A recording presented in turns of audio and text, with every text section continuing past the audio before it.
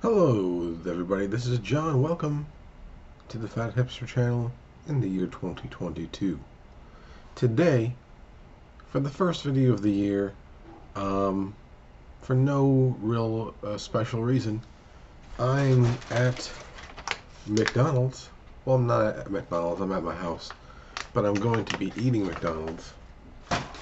But this is not any ordinary McDonald's. This is the international global menu McDonald's, which uh, just so you uh, know where that is, that is on 1035 West Randolph Street in Chicago, Illinois, area code 60607. Anytime you want to figure out what is on the global menu, just pull up your McDonald's app and just make sure you select that store. Um, no matter where you are in the world, you can select any store. Um, you can even order from any store. It's just that they're not going to deliver it to you. You have to pick it up. So it would be ridiculous for you to make the order if you weren't going to actually be able to pick it up. But nothing stopping you from selecting that um, and set and going to make an order just to see the menu. So at any time you could see what the new global uh, options are at the Global International Menu McDonald's in Chicago, Illinois. And if you look on there, you will see the following Chicken Big Mac, which uh, it doesn't have a specific country attached to it. It says it's a global option, which um, I don't think I've ever seen it on the menu at any United States McDonald's. So global minus the United States, except for this one global location, technically. Um, but I know currently it's being advertised in Australia as coming back for a limited time. And I have that right here in front of me. They also have the Cheesy Bacon Supreme. The Cheesy Bacon Supreme, um, all I have to look at are pictures of it. Um, it has some kind of like toasted cheese bun. It has a burger, has bacon, has lettuce, and it looks like special sauce and pickles. But it looks like it has a patty of fried cheese, fried cheese disc, kind of. It was not available uh, at the time, so I'm assuming they're currently out of those cheese patties because cheese patties or maybe the bun because those are the two unique things um, on the cheesy bacon supreme. They have one breakfast item. I didn't go there for breakfast, so I don't have this one. Also from Poland, the egg and mushroom Kaiser roll. And it's a breakfast sandwich. It has the circle egg, has slice of cheese, has lettuce, mayonnaise, and grilled mushrooms. Again, don't have that one because it is uh, a breakfast item I didn't go for breakfast. The other item which I do have, these are called garlic pepper crisp cut fries. I have those. And those are from China. Um, they are waffle style fries and they have a garlic pepper seasoning on them. Um, the other things, there's some desserts. They have a chocolate waffle cone sundae with Oreo. I don't have that. Um, but I saw some people ordering it. It's just a an Oreo waffle cone, so it's a chocolate waffle cone, and it looks like soft serve ice cream with then chocolate syrup and more Oreo bits on top. They have three salads. Oh, and that one is from. Uh, where's that from? I think this is like Sudan or something interesting like that. Um, let's see if it says. No. It was from Saudi Arabia or Sudan, something like that. It was S and it's somewhere in like the mid eastern hemisphere area. They have three salads, all from Sweden. I didn't get them. They weren't not available. They're all hummus based salads. It's weird that hummus in Sweden. You think hummus and it's like more Israel Palestine kind of thing, but a hummus salad, a chicken hummus salad, crispy, and a chicken hummus salad grilled. Um, I'm guessing the hummus is what they don't have because that's the only unique thing on here. And then the last things are from the bakery, they have two bakery items. They have a sprinkle donut, which is just a circle donut with pink frosting and sprinkles. And they also have the Boston cream donut, which I have here. It is much smaller than I had imagined, but it does smell freshly fried, like that fried donut smell. Um, so I have three items here that I'm going to try. The first thing we're going to start out with is this, the chicken Big Mac. I want to show you the chicken patty on this because it really looks like a giant chicken nugget. Is that what the regular McChicken patty is supposed to look like? Um, because that's what it kind of looks like that. It's really crispy though. Uh, there's no onions on it. That's besides the beef turning into chicken. There's also no onion on it. So those are the two big differences between a regular beef Big Mac and the chicken Big Mac.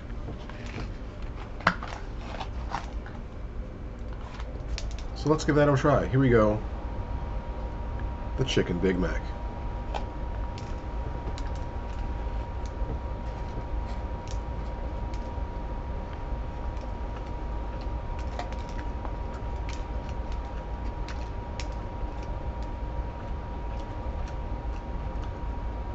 Yeah, they're definitely not like any premium chicken patty. It definitely looks like a mechanically separated, reformulated chicken meat into a patty.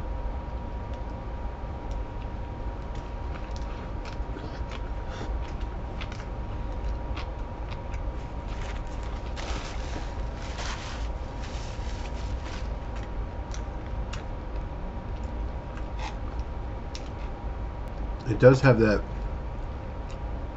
chicken nugget crisp to it where it's like overly battered till it forms a nice crust.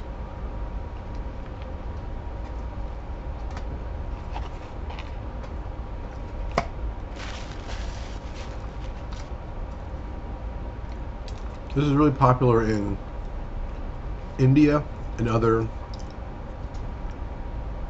more non-beef uh, eating areas of the world.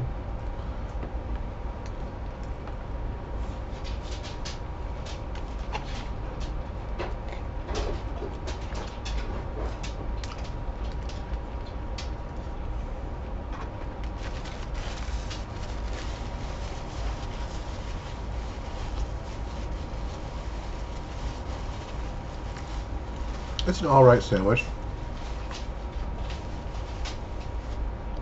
Uh, I definitely prefer a beef Big Mac over this one. And to this day, my favorite Big Mac, I believe, is still the Grand Mac. The Grand Mac was the one that had the quarter pounder patties um, instead of the regular patties. The double Big Mac was also pretty good. Um, that one had the regular Big Mac patties, but two in each layer. Um, and I do think the Big Mac does uh, get better with a little bit more beefiness to it. The Big Mac sauce is always really good, but I think if it, it goes really good with a nice beefy flavor.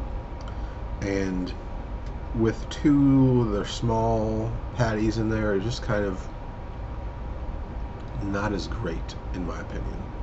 Um, but the chicken one, it tastes fine. Um, would I clamor for it? No. Would I order again? Probably not. If someone gave me one, would I eat it? Sure. It's not. It's not bad. Um, it's just if you're gonna get a Big Mac, get a beef Big Mac. It's better. Next up, we have they call this the Chris cut, um, and it's with one S, Criscut,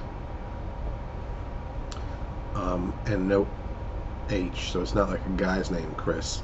It's C R I S C U T, one word. Criscut fries. They're supposed to be garlic pepper. I don't really get a lot of garlicky smell to it. Let's go ahead and taste it.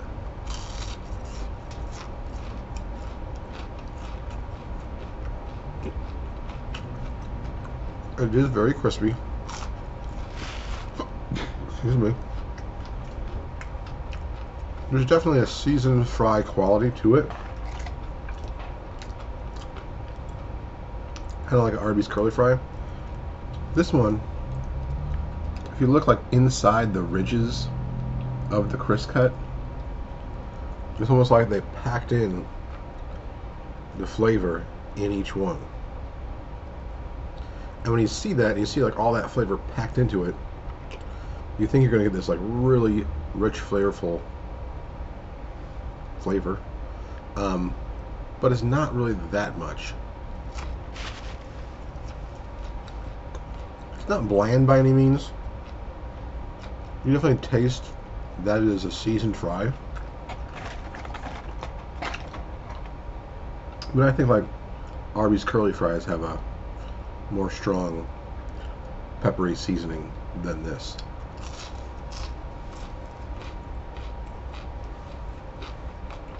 I was really hoping for like a a strong black pepper hit. I think like if you look in here, the black pepper pieces are just so small. It's like that uh, pre-packaged in the little white bag black peppers. Not like peppercorns in a mill cracking right on there where you still get like a scent. So you get some chunks that are so big you can bite into it and like even release more flavor in your mouth. This one doesn't have that like black pepper hit. It tastes like black pepper that you have in a, a plastic shaker at a, a, a dining hall in college. The garlic also I was hoping for like a garlic heat then we get fresh garlic. Usually when I cook with the garlic, it's all like you cook it up before and you get like a more mellow garlic. Um, but when it's like a seasoned fry, I want like that fresh garlic, fresh pepper right on top of it. You get that heat from the garlic. You get that another kind of heat from the pepper. This doesn't have either.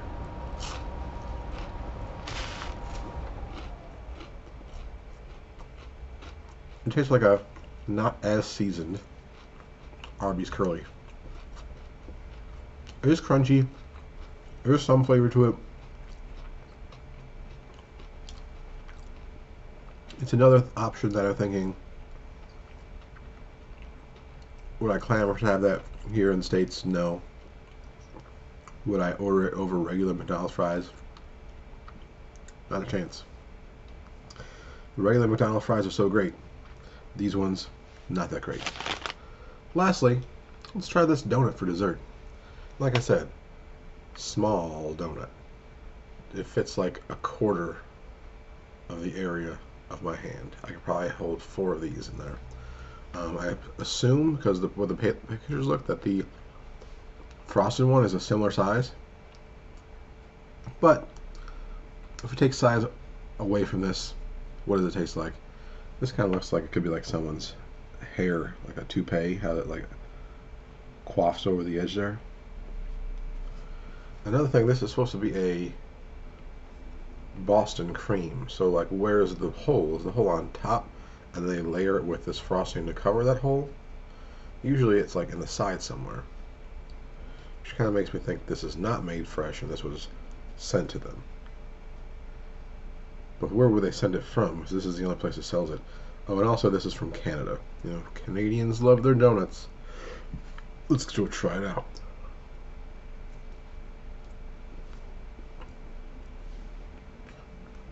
There's that Boston cream.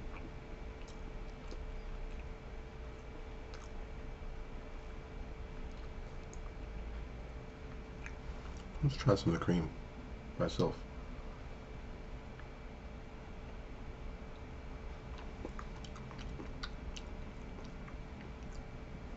It's light. It's definitely not a not like a rich, rich, heavy cream. It uh, has like a vanilla pudding flavor to it.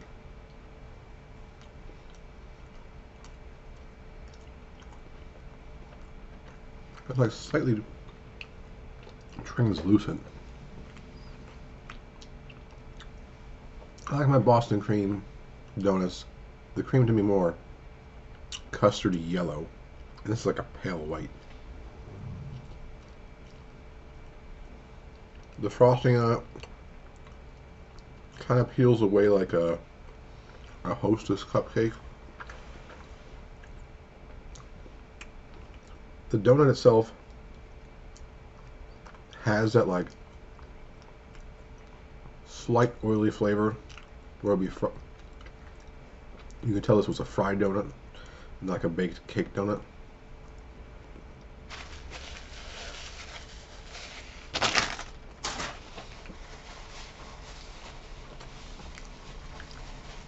I would say another miss.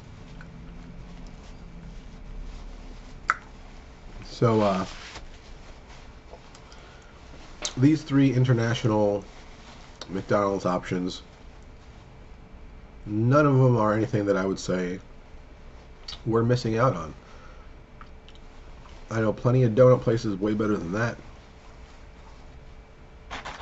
Arby's, you can get better seasoned fries than these ones and the the chicken Big Mac definitely not as good as a regular beef Big Mac. Anyway, maybe the the Poland cheesy bacon supreme would have been better, but look it up.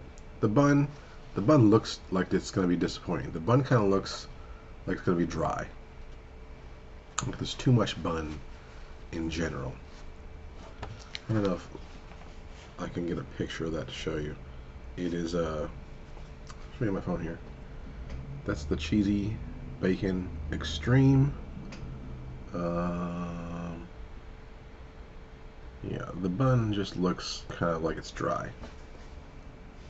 Anyway, that's the end of this video, the first one that I filmed anyway, for 2022. I got a couple more good ones coming up and some ideas as well.